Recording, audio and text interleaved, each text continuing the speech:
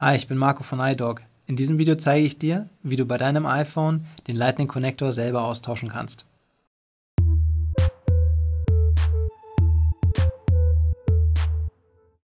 Die Reparatur ist schwierig, da einige Teile verklebt sind und du viele verschiedene Schrauben lösen musst. Du solltest etwa 60 bis 90 Minuten dafür einplanen. Folgende Werkzeuge empfehlen wir dir hierfür. Einen Y-Type, einen Pentalobe und einen Philips Schraubendreher ein Hartplastikplektrum, eine ESD-Pinzette, einen Stahlspatel, ein Plastikspatscher und einen Saugnapf. Außerdem benötigst du einen Heißluftföhn oder alternativ einen Haartrockner, um stark verklebte Teile lösen zu können. Das Ersatzteil findest du unten in der Infobox verlinkt und das wichtigste Werkzeug findest du in unserem Reparaturset. Auf unserer Internetseite idoc.eu findest du diese Anleitung mit detaillierten Fotos, und Videos für jeden einzelnen Schritt. Wenn ihr Fragen habt, nutzt einfach die Kommentarfunktion. Und jetzt viel Spaß bei der Reparatur. Bevor du mit der Reparatur beginnst, solltest du dir alle notwendigen Werkzeuge parat legen. Achte auch auf eine saubere Unterlage, damit kein Schmutz ins Innere gelangt und du keine Kratzer am iPhone hast. Zu Beginn der Reparatur solltest du dein iPhone ausschalten, um Kurzschlüsse zu vermeiden. Dann kannst du die Pentaloop-Schrauben entfernen.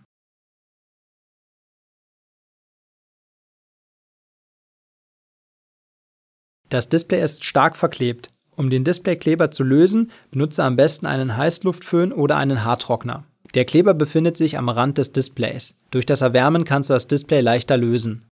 Nehme dir jetzt den Saugnapf zur Hand und setze ihn auf dem Display oberhalb vom Home-Button an. Ziehe nun am Saugnapf und drücke dabei gleichzeitig mit dem Plektrum in den Spalt zwischen Display und Rahmen. Sobald du das Plektrum zwischen Glas und Backcoverrand platzieren konntest, kannst du nun mit dem Plektrum einmal um den Rahmen herumfahren. Damit löst sich der Displaykleber nach und nach. Achte darauf, dass du das Plektrum beim Lösen des Displayklebers nicht zu weit ins Gerät einsteckst. Sei dabei besonders vorsichtig. Du könntest sonst die Displayanschlusskabel beschädigen. Ist das Display deines iPhones stark gesplittert, empfiehlt es sich mit Klebeband zu arbeiten. Hierzu zieht ihr ein Streifenklebeband ab und klebt ihn direkt aufs gesplitterte Display. Das ist notwendig, damit der Saugnapf besser hält. Ist der Kleber rundherum gelöst, kannst du nun das Display aufklappen. Klappe das Display nicht mehr als 180 Grad auf, da sonst die Kabel überdehnt werden könnten. Du kannst das Display auch gegen einen Gegenstand anlehnen.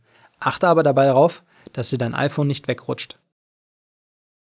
Nun werden die vier Phillips-Schrauben der Metallabdeckung gelöst. Achte immer auf die Größe und die Art der Schrauben. Achte immer darauf, dass du die Schrauben nicht durcheinander bringst. Es könnte sonst zu Beschädigungen kommen. Zum Ablegen der Schrauben empfehlen wir unsere iDock Magnetmatte. Unter der Metallabdeckung befindet sich der Akkukonnektor. Diesen solltest du immer als erstes trennen. Zum Trennen des Konnektors empfehlen wir einen Plastikspatscher. Das empfiehlt sich, um Kurzschlüsse zu vermeiden. Solange der Akku noch angeschlossen ist, fließt Strom im Gerät. Durch falsches Anschließen der Display-Konnektoren kann es passieren, dass es einen Kurzschluss gibt. Es könnte auch sein, dass hierbei deine Hintergrundbeleuchtung beschädigt wird. Mit einem getrennten Akku bist du also immer auf der sicheren Seite. Jetzt kannst du die Anschlüsse des Displays und des Home-Button trennen. Versuche die Anschlüsse möglichst gleichmäßig zu entfernen. Achte darauf, die Anschlüsse nicht zu verbiegen und andere Teile vom Logic Board zu beschädigen. Entferne nun die zweite Metallabdeckung. Diese ist mit drei Schrauben gesichert.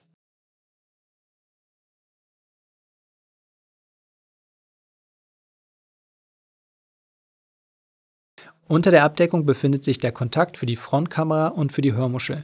Entferne diesen mit einem Plastikspatscher. Wenn alle Anschlüsse gelöst sind, kannst du das Display nun entfernen.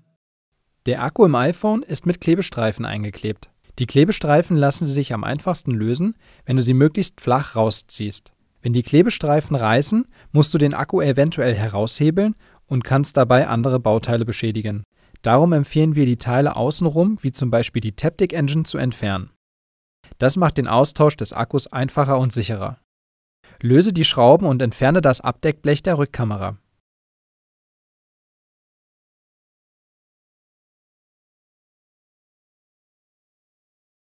Für die Standoff-Schraube gibt es spezielle Schraubendreher. Du kannst aber auch einen gewöhnlichen, schmalen Schlitzschraubendreher benutzen.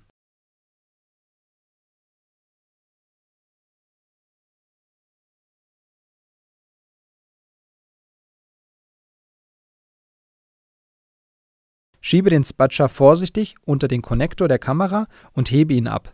Um die Kamera herausnehmen zu können, heble ein bisschen an den Seiten. Dann kannst du die Kamera entfernen. Trenne jetzt das Lautstärkekabel. Löse dazu die Schrauben der Abdeckung und nehme sie heraus. Leg alles in ein gemeinsames Fach auf der Magnetmatte.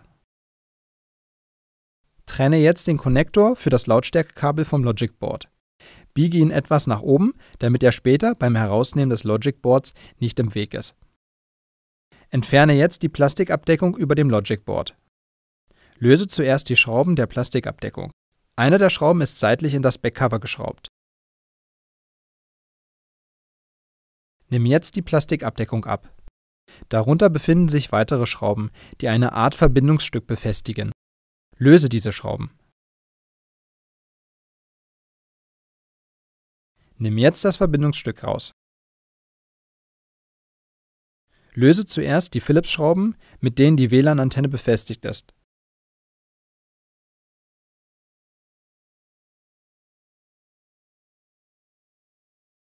Trenne dann den Konnektor von der Platine. Die Antenne ist leicht verklebt. Du kannst sie lösen, indem du einen Spatel vorsichtig unter das Kabel schiebst. Der Klebstoff lässt sich leichter lösen, wenn du ihn mit Heißluft etwas erwärmst. Nimm jetzt die Antenne raus. Um gleich das Logic Board herausnehmen zu können, musst du noch den SIM-Kartenhalter entfernen. Stecke dazu das SIM-Tool oder eine Büroklammer in das kleine Loch. Trenne jetzt die drei Konnektoren auf dem Logic Board vorsichtig mit dem Spatscher.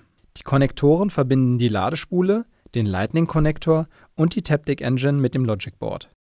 Löse jetzt die Philips und Standoff-Schrauben am Logic Board. Diese sind wieder unterschiedlich lang. Eine der Schrauben ist überklebt. Du musst also erst den Schaumstoff hochziehen. Für die Standoff-Schrauben mit Gewinde in der Mitte gibt es einen Spezialschraubendreher mit Zentrierstift. Du kannst aber auch einen schmalen Schlitzschraubendreher benutzen. Sortiere die Schrauben so, dass du sie beim Wiedereinbau nicht verwechselst. Jetzt kannst du das Logic Board vorsichtig herausnehmen. Neben der Öffnung für die iSight-Kamera ist eine Plastikhalterung für eine Schraube. Diese Plastikhalterung liegt über dem Logic Board. Pass auf, dass die drei Konnektoren nicht am Board hängen bleiben. Entferne die eine Y-Type-Schraube und die beiden Phillips-Schrauben der silbernen Flexkabelabdeckung und hebe die Abdeckung ab.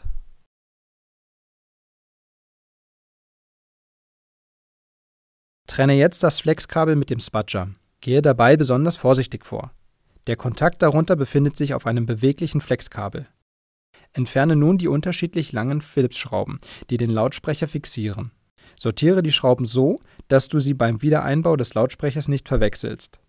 Nun kannst du den Lautsprecher mit dem Flexkabel herausheben. Der Lautsprecher ist leicht am Rahmen verklebt. Nimm jetzt die Taptic Engine raus, damit du an die Klebestreifen des Akku kommst. Über dem Konnektor der Taptic Engine ist ein kleines Flexkabel. Halte es mit einer Pinzette fest und hebel vorsichtig mit dem Spudger. Achte darauf, den Kontakt nicht zu verbiegen. Löse die beiden Schrauben der Taptic Engine, eine davon ist wieder eine Stand-off-Schraube mit Ingewinde. Als nächstes kannst du den Konnektor der Taptic Engine abhebeln. Auf der einen Seite ist die Taptic Engine unter einem Blech. Schiebe die Taptic Engine heraus und entferne sie dann.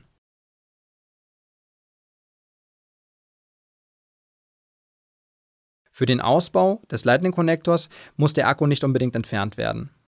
Entferne die Schrauben der barometrischen Abdeckung und nimm sie aus dem Gerät. Die Plastikabdeckung ist mit Schaumstoff verklebt, der beim Entfernen etwas zerreißen kann. Löse alle verschiedenen langen Schrauben des Lightning Connector Flexkabels. Zwei der Schrauben gehen seitlich ins Gehäuse. Sortiere die Schrauben in der richtigen Anordnung, um sie später beim Einbau nicht zu vertauschen. Das Flexkabel ist großflächig am Backcover verklebt. Mit Heißluft kannst du den Kleber lösen und so das Kabel leichter entfernen. Nimm dir ein flaches Werkzeug wie den Stahlspatel oder ein iFlex und gehe damit vorsichtig unter das Kabel. Löse nach und nach das Flexkabel und erhitze es erneut, wenn sich der Kleber nicht lösen lässt. Löse auch den Teil, der seitlich ins Gehäuse geklebt ist.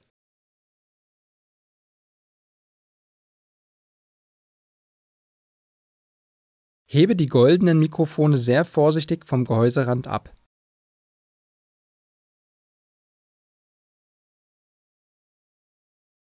Wenn alles gelöst ist, kannst du den Lightning-Konnektor herausnehmen. Bereite den neuen Lightning-Konnektor vor dem Einbau vor.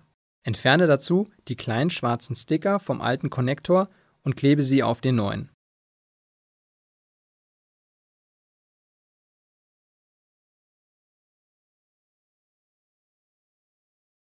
Ziehe dazu vorher die kleinen Schutzfolien von den Klebeflächen ab.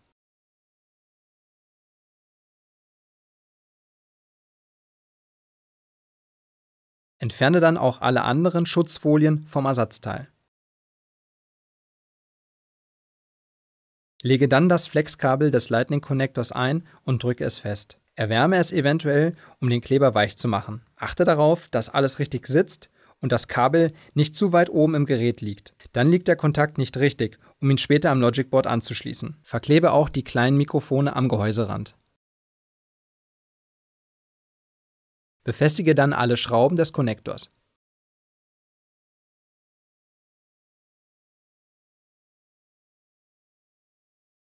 Setze dann die barometrische Abdeckung ein und drücke sie gegen die Unterseite des Backcovers. Verschraube die Abdeckung mit den unterschiedlich langen Schrauben. Nun können alle Teile wieder eingebaut werden.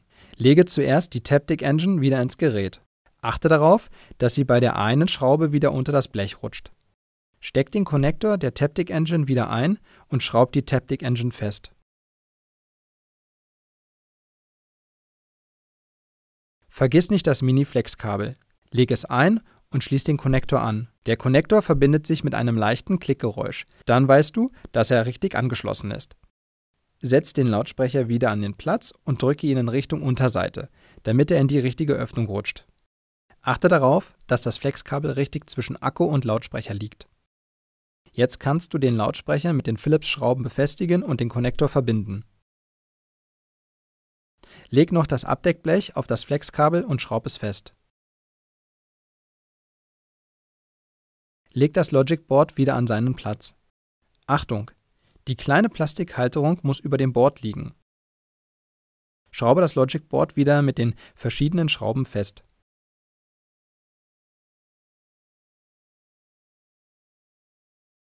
Leg die drei Konnektoren wieder auf ihre Steckplätze, drück sie vorsichtig mit dem Finger fest, bis sie leicht einrasten. Wenn es nicht gleich klappt, versuche die Konnektoren nicht mit Kraft fest zu drücken, sondern nimm sie wieder ab und versuche sie noch einmal aufzusetzen. Schiebe jetzt noch den SIM-Halter ein.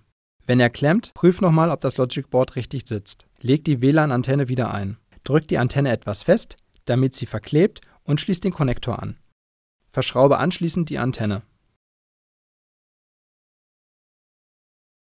Lege zuerst das kleine Verbindungsstück an seine Position und schraube es dann fest. Jetzt kannst du die Plastikabdeckung einsetzen und mit den Phillips-Schrauben verschrauben.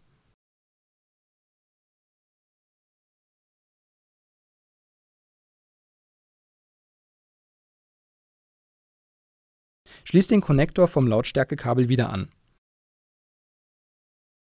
Schraub dann noch die Abdeckung mit den Phillips-Schrauben fest.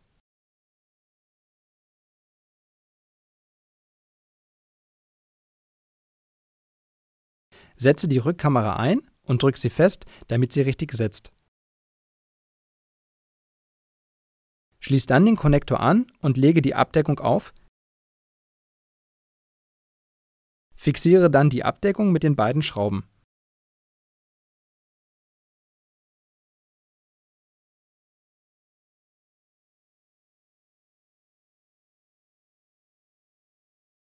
Um das iPhone wieder gegen Staub und Spritzwasser zu schützen, empfiehlt es sich, einen neuen Kleberahmen aufzukleben. Entferne zunächst alle alten Klebereste, damit der neue Kleber richtig befestigt werden kann. Beachtet aber, dass das iPhone nicht gegen Wasser zu 100% geschützt ist.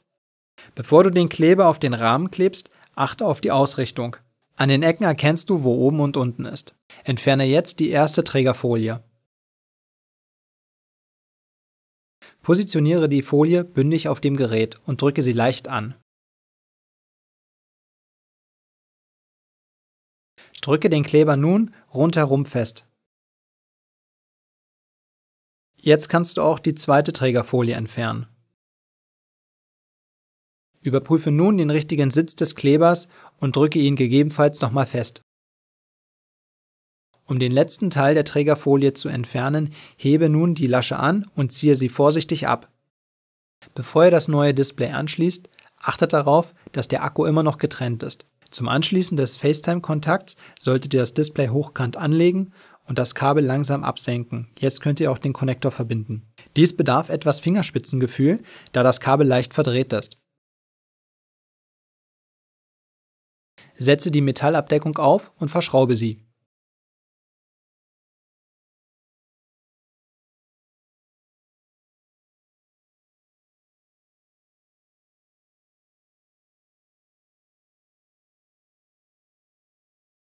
Schließe nun die Kabel für Display und Homebutton an. Versuche die Kabel korrekt aufzusetzen und nicht über den Konnektor zu rutschen. Die Konnektoren sollten mit einem leichten Klickgeräusch einrasten. Auch die Kabel sollten nicht überdehnt werden. Jetzt kannst du den Akku wieder anschließen. Nimm dir einen Gegenstand zur Hand, um das Display leicht anzulehnen. Jetzt kannst du das Abdeckblech aufsetzen. Befestige die Metallabdeckung mit den vier Phillips-Schrauben.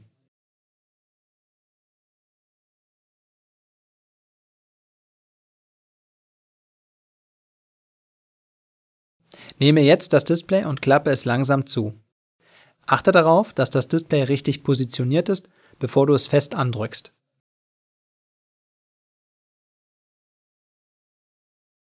Drücke das Display nach und nach herunter, damit es bündig auf dem Rahmen sitzt. Zu guter Letzt kannst du die Pentalobe-Schrauben befestigen.